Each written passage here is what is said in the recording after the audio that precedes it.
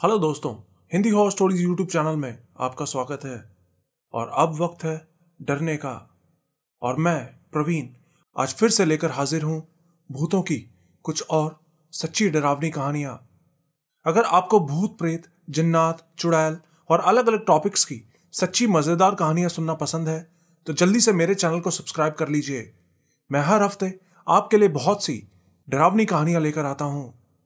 तो खुद भी सुनिए और अपने दोस्तों के साथ भी शेयर कीजिए और डरिए प्रवीण के साथ।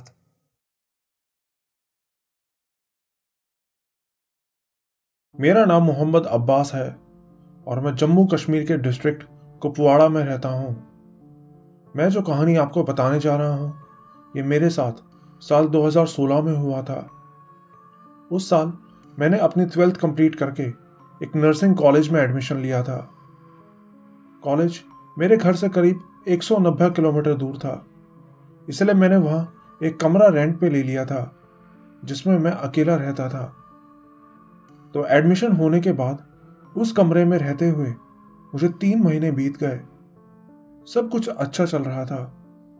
लेकिन फिर एक रात 9 मई 2016 उस शाम मैंने जल्दी ही खाना बना लिया था। खाना बनाने के बाद मैंने थोड़ा फ़ोन चलाया। और फिर थोड़ी देर बाद मैं खाना खा के नीचे बर्तन साफ़ करने के लिए चला गया, क्योंकि मेरे रूम में वॉश बेसिन नहीं था। मकान मालिक ने नीचे ही एक पॉइंट लगवाया हुआ था। वो रात करीब साढ़े नौ बजे का टाइम था। बाहर बहुत अंधेरा था, लेकिन जहाँ वो बर्तन धोने का पॉइंट था, वहाँ एक बल्ब लगा हुआ था। तो नीचे जाके मैंने सारे बर्तन धो लिए। अब बस एक ग्लास धोने के लिए बचा था। मैंने जैसे ही वो ग्लास धोने के लिए हाथ में लिया तो लाइट चली गई। तो मैंने सोचा, थोड़ी देर वेट कर लेता हूँ। लाइट आएगी तो धो लूँगा। और फिर कुछ ही देर बाद लाइट भी आ गई। लाइट आने के बाद मैं फिर से जैसे ही ग्लास को धोने के लिए गया तो फिर से लाइट चली गई। और फिर ठीक दो मिनट बाद लाइट फिर से वापस आ गई। मैं फिर से धोने लगा तो तीसरी बार फिर से ऐसा ही हुआ। मुझे लगा, शायद लैंडलॉर्ड का बेटा मुझसे मज़ाक कर रहा है। वो अक्सर शरारत करता रहता था। आखिर में मैंने किसी तरह वो ग्लास धोया और ऊपर अपने बिस्तर में चला गया।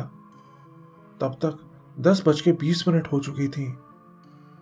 बिस्तर में लेटा, मैं यही सब सोच रहा था कि ये पक्का लैंडलॉर्ड के बेटे की ही शरारत होगी, क्योंकि ऐसे लाइट बार बार कभी नहीं जाती दोस्तों, ये बहुत पुरानी नहीं, कुछ दिन पहले की ही बात है। जब मैं अपने काम के लिए बाहर ड्राइव करता हुआ जा रहा था, तभी मैंने कुछ ऐसा देखा जिसे देख के मुझे बहुत हैरानी हुई। मैंने रास्ते पर जितने भी लोगों को देखा, सभी के हाथ में स्मार्टफ़ोन थे। हाँ मुझे पता है, ये इतनी भी हैरान होने वाली बात नहीं है, क्योंकि हमारा देश अभी सबसे ज़्यादा तेज़ी से आगे बढ़ रहा है, और ये गर्व की बात है। और जिस तरह हमारा देश और हम आगे बढ़ रहे हैं, उसी तरह हमारी टेक्नोलॉजी भी आगे बढ़ रही है। उस दिन ट्रैफ़िक जैम पर फंसे हुए, मुझे एक साइट मिला टॉप पर, जिसे मैंने अपने दोस्तों के साथ वहीं यूज़ किया जिससे मैंने नोट किया कि वक्त कितनी तेज़ी से गुजरता है और इसी के साथ साथ मैंने थोड़ी अर्निंग भी कर ली और मेरा टाइम भी वेस्ट नहीं हुआ। मैंने लिंक डिस्क्रिप्शन में दे दिया है। तो अगली बार से ट्रैफ़िक जैम में फंस जाओ, तब बोर मत होना और वो टाइम थोड़ा पैसे कमाने में लगा देना। और सिर्फ़ यही नहीं, इस साइट पर आपको गेम्स भी मिलेंगे, जो आपको ज़रूर पसंद आएँगे और यहाँ जैकपॉट जीतने के भी बहुत हाई चांस रहते हैं। और ये मैं सिर्फ़ बोल नहीं रहा, बल्कि आपको करके दिखाता हूँ। अब देखिए, जैसे मैं अपने फ़ोन में ये गेम स्टार्ट कर रहा हूँ, और ये मुझे मिल गई एक फ्री स्पिन, और ये मुझे मिल गया है जैकपॉट। वाह, मैं कितना लकी हूँ। मैंने कहा था ना, यहाँ सभी को जैकपॉट मिल सकता है। हाँ तो जैसा मैं बता रहा था, बिल्कुल वैसा। आप सभी का क्लब में स्वागत है। डिस्क्रिप्शन में दिए गए लिंक को फॉलो करें। और हाँ मेरे व्यूअर्स के लिए, जो भी मेरे लिंक को फॉलो करते हुए अपना अकाउंट रजिस्टर करेंगे, उन्हें एक बड़ा बोनस मिलेगा। ट्वेंटी फाइव थाउज़ेंड आई का और 200 से भी ज़्यादा फ्री स्पेंस जैसा कि आप लोगों ने देखा है, मैं अभी तक पिछहत्तर हज़ार से ज़्यादा कमा चुका हूँ और इस महीने के अंदर और भी कमा सकता हूँ। और हाँ जो लोग यहाँ सबसे छोटे अमाउंट भी डिपॉजिट करेंगे, उन्हें भी बिगेस्ट गिव अवे में भाग लेने का मौका मिलेगा। और जितना बड़ा डिपॉजिट उतने ज़्यादा चांसेस कुछ बड़ा जीतने का। तो आप सब भी ये मौका नहीं गंवाएँ और अभी जाकर रजिस्टर करें और अपने टाइम को सिर्फ़ फन में नहीं, कुछ जीतने में भी लगाएँ। कुछ ही देर बाद मैंने इस बात को अपने दिमाग से निकाल दिया और अपने फ़ोन में मूवी देखने लगा। मैं अक्सर सोने से पहले मूवी देखा करता था। फिर मूवी देखते देखते साढ़े ग्यारह बजे के करीब मुझे नींद आने लगी। सोने से पहले मुझे प्यास भी लग रही थी तो मैंने एक गिलास पानी भरा और थोड़ा सा पानी पी के बाकी वहीं अपने बिस्तर के बगल में ही रख दिया। मुझे अच्छे से याद है कि मैंने आधा गिलास पानी पी के वहाँ रखा था। लेकिन फिर रात में सोते सोते अचानक पता नहीं कैसे मेरी आँख खुल गई। आँख खुली तो मैंने देखा कि वो ग्लास बिल्कुल खाली था। ना ही ग्लास का पानी नीचे फर्श पे फैला था। मुझे बहुत हैरानी हुई कि ऐसा कैसे हो सकता है। ये बहुत अजीब बात थी। उसके बाद फिर मुझे दो घंटे तक नींद नहीं आई। तो मैं लेटा लेटा फिर से मूवी देखने लगा। उसके बाद मैं सुबह तक नहीं सो पाया।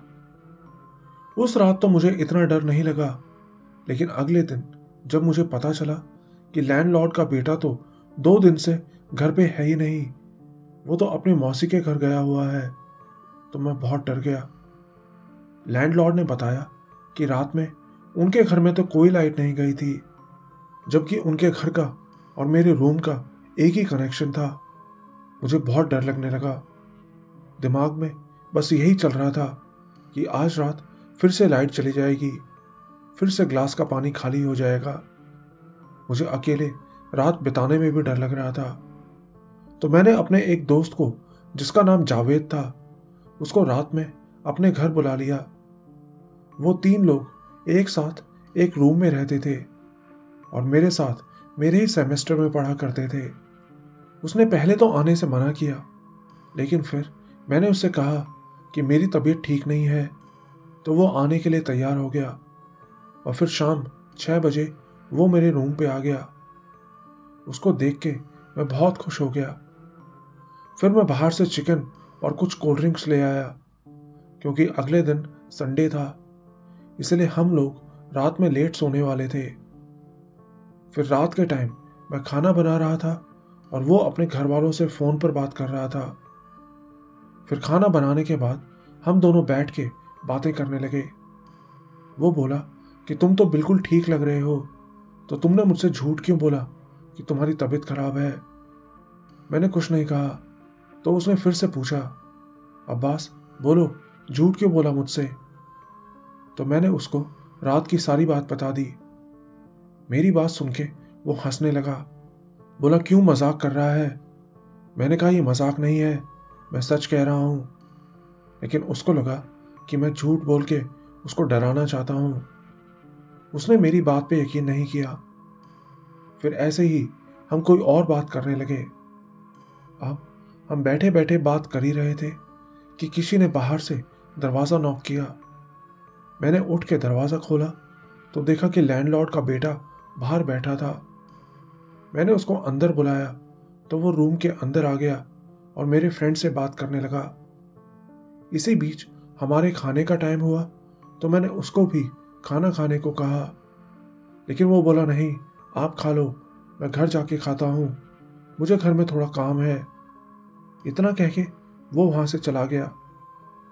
उसके बाद हम दोनों ने खाना खाया और फिर मैं रोज की तरह बर्तन धोने के लिए नीचे चला गया। लेकिन इस बार मुझे डर लग रहा था। तो मैं अपने दोस्त को भी अपने साथ ले गया। वो हंस रहा था। मेरी नज़र नीचे बल्ब पे ही थी, लेकिन इस बार ऐसा कुछ नहीं हुआ। लाइट एक बार भी नहीं गई।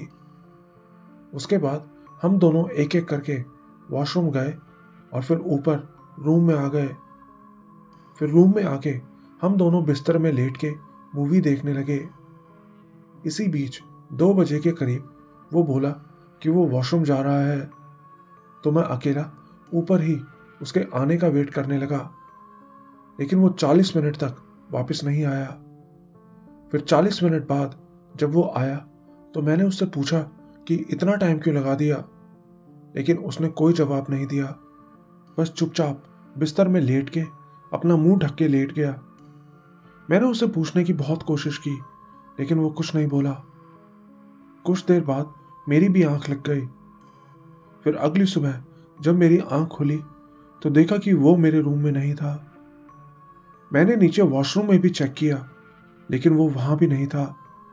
तो मैंने जल्दी से उसको कॉल किया। उसने बताया कि वो अपने रूम पे आ गया है। उसने मुझसे भी जल्दी से उसके यहाँ आने को कहा। फिर मैं दस बजे के करीब उसके यहाँ पहुँच गया। लेकिन जाके उसने मुझे जो बताया, वो सुन के तो मैं इतना डर गया कि मेरी हिम्मत ही नहीं हो रही थी कि मैं अपने रूम पे वापस जा सकूँ। उसने बताया कि रात में जब मैं बाथरूम से निकलने से पहले हाथ धो रहा था तो अचानक लाइट चली गई। बिल्कुल अंधेरा हो गया। तभी किसी ने बाथरूम का दूसरा नल ऑन कर दिया। मुझे लगा वो तू है। मैंने बोला भी, अब्बास, ऐसा मत करो, मुझे डर नहीं लगता। लेकिन फिर कई देर तक जब कोई आवाज़ नहीं आई तो मुझे डर लगने लगा। मुझे याद आया कि कल तुम्हारे साथ क्या हुआ था। मैंने अंधेरे में ही दरवाज़ा खींच के खोलने की कोशिश की, लेकिन दरवाज़ा नहीं खुल रहा था। जैसे कि किसी ने बाहर से ही दरवाज़ा बंद कर दिया हो। मैं ज़ोर ज़ोर से दरवाजे पे हाथ मारने लगा, लेकिन कुछ नहीं हुआ। फिर थोड़ी देर बाद लाइट आ गई। तो मैंने दरवाज़ा फिर से खोला। तो इस बार दरवाज़ा खुल गया। उस जगह ज़रूर कुछ है। वहाँ अकेले रहना ठीक नहीं है। तुम वहाँ मत रहो। वहाँ अकेले रहना सेफ़ नहीं है। तो मैंने उसको कहा, ठीक है, तुम मेरे साथ चलो। मैं अपना सामान ले आता हूँ। कुछ दिन तुम्हारे साथ रह लूँगा और फिर कोई दूसरा रूम ढूंढ लूँगा। फिर वो मेरे साथ आया और मैं अपना सारा सामान वहाँ से ले आया। फिर मैं अपने एक दूसरे फ्रेंड के साथ रहने लगा। और जब तक मेरी स्टडी पूरी हुई, तब तक मैं अपने फ्रेंड के साथ ही अच्छे से रहा। लेकिन उस रूम में मेरे साथ जो हुआ, वो मुझे आज भी अच्छे से याद है। वो सब पहले मेरे और फिर मेरे फ्रेंड के साथ हुआ, जिसका मतलब था कि वहाँ पक्का कुछ था, जिसको हमारा वहाँ रहना पसंद नहीं था। आज मैं कतर के एक हॉस्पिटल में जॉब करता हूँ।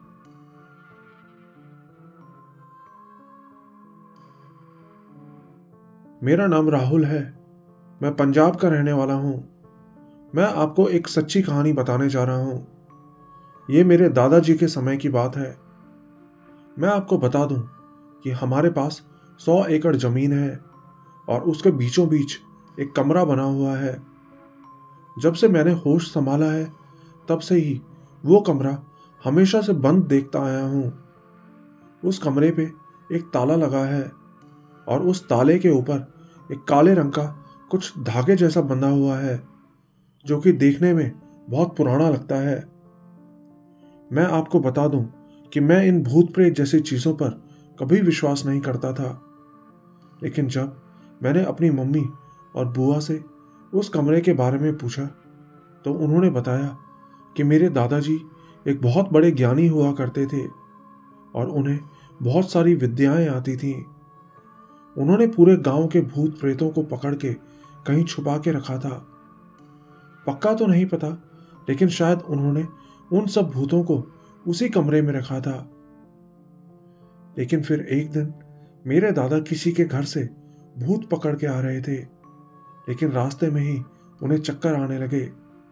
उन्होंने घर आके ये बात सबको बताई, लेकिन मेरी दादी जी ने उनको आराम करने के लिए कहा और कहा कि आप सो जाओ। मेरे दादाजी ने उनकी बात मान ली और खाना खा के सो गए। लेकिन उस रात उन्हें पता नहीं कैसी नींद आई। वो अगले पूरे दिन तक उठे ही नहीं। लेकिन मेरी दादी ने समझा कि वो बहुत ज़्यादा थक चुके हैं, इसीलिए नहीं उठ रहे। असल में मेरी दादी बहुत भोली थी। जितने मेरे दादाजी ज्ञानी थे, उतनी मेरी दादी जी भोली थी। लेकिन जब दादा अगले पूरे दिन तक भी नहीं उठे तो घर वालों को उनकी फ़िक्र होने लगी। लेकिन दादी किसी भी घर वाले को दादा के कमरे में नहीं जाने देती थी, क्योंकि दादाजी अपने कमरे में अपनी अलग अलग शक्तियों का रिचुअल करते थे।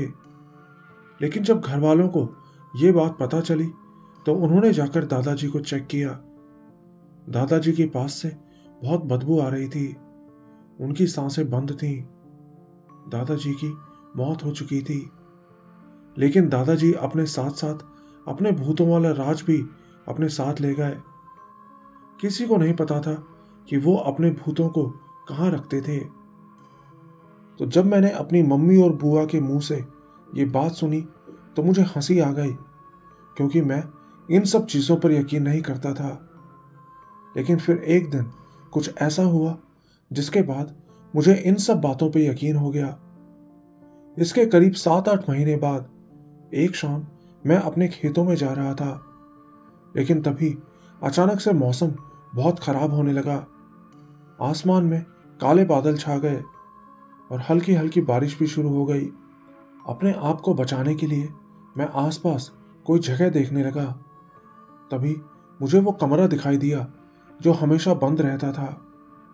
मैं बता दूँ कि वो कमरा हमारे घर से करीब पचास एकड़ दूर है और कमरे के बिल्कुल साथ में एक बहुत पुराना, करीब सौ दो सौ साल पुराना एक बरगद का पेड़ है, जिसकी बहुत लंबी लंबी शाखाएँ हैं, जो कि धरती तक आती हैं। मैं अपने घर से बहुत दूर आ चुका था, इसलिए वापस जाने में तो मैं पानी से बिल्कुल भीग जाता। इसलिए जब मैंने अपने पास उस पेड़ को देखा तो अपने आप को भीगने से बचाने के लिए मैं जल्दी से उस पेड़ के नीचे जाके खड़ा हो गया। लेकिन तभी मुझे याद आया कि बारिश के वक्त पेड़ के नीचे नहीं खड़े होना चाहिए, वरना आसमानी बिजली गिरने का बहुत डर रहता है। वहाँ से सामने वो कमरा भी साफ़ साफ़ दिखाई दे रहा था। अब मैं वहाँ खड़ा ये सब सोच ही रहा था कि तभी मुझे ऐसा लगा जैसे उस कमरे का दरवाज़ा धीरे धीरे ठक ठक करके हिल रहा हो। मैंने उसे देख के पहले तो नज़रअंदाज किया, लेकिन जब मेरा शक यकीन में बदल गया तो मैं उस दरवाजे के पास जाके उसको ध्यान से सुनने लगा। मेरा शक बिल्कुल सही था। ऐसा लग रहा था जैसे कोई कमरे के अंदर से दरवाज़ा ज़ोर ज़ोर से पीट रहा हो। वो देख के तो मैं इतना डर गया कि इतनी तेज बारिश में भी भीगने की परवाह किए बिना भागता हुआ जैसे तैसे अपने घर पहुँचा। घर आके मैंने ये बात किसी को नहीं बताई और चुपचाप खाना खा के सो गया। लेकिन इस बात को याद करके मैं आज भी बहुत डर जाता हूँ।